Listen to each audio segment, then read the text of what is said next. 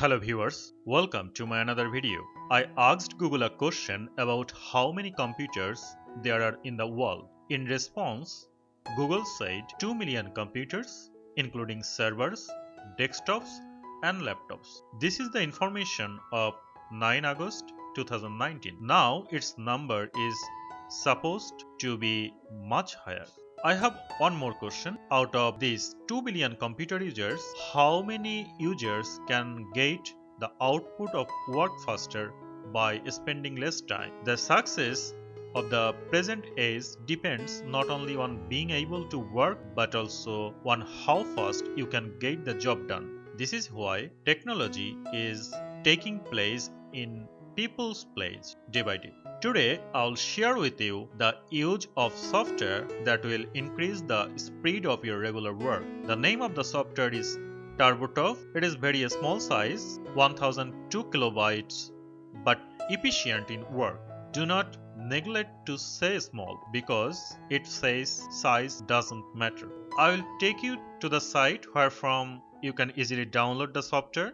You have to type this URL savardsoftware.com slash turbotop slash download dot asp after that click on enter and you will get this url and here is saying 1002 kilobyte to do download. You need to click on directly on this link so that it will be download. After download you need to install the software to get access. What is the use of this software?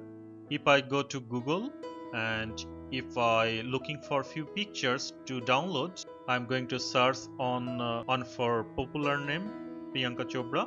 And after that I'll click on images so that Priyanka Chopra's all images are here. So if I go to save I'll go to my computer and I'll open up a new folder to save the images.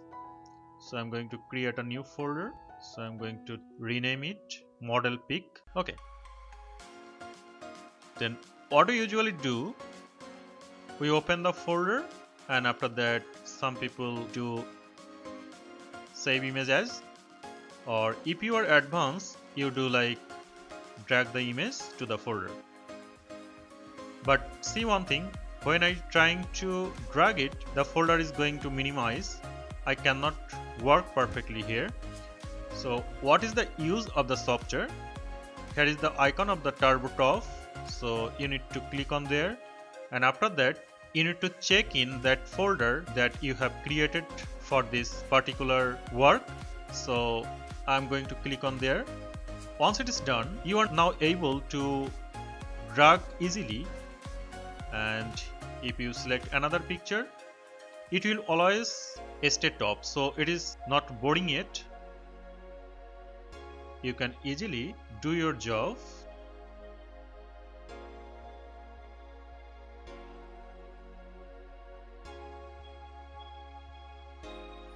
going to close it and I'll open up Microsoft Word to show you something. I have opened a document. Now I'll open a PDF document to write down something on Microsoft Word. I'm opening this one.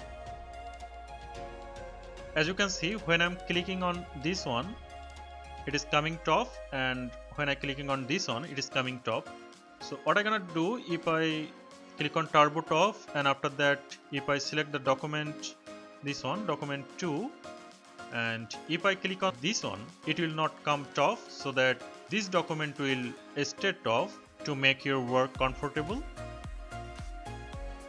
so hopefully guys, this video will help you to keep your file or folder on top. If it is helpful for you, please don't forget to subscribe my channel, share it to your friends and if you have any problem, please leave your comment in the comment box below. Thank you very much.